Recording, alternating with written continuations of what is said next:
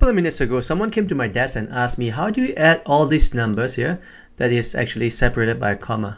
This is how you do it. First, you're going to have to split this uh, cell value into an array. You're going to use a function called text split.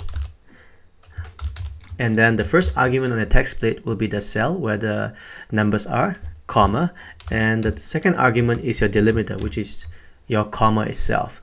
And this will create an array of a numeric value which is in string. To convert them, you're going to have to use a double dash, which is also known as a double unary operator, which basically converts the string of numbers into actual numbers where you can do math. Once that's done, you use the good old uh, sum function, and then you are done for that row. So after that, to apply to all the row, just drag on this handler, and then you are done.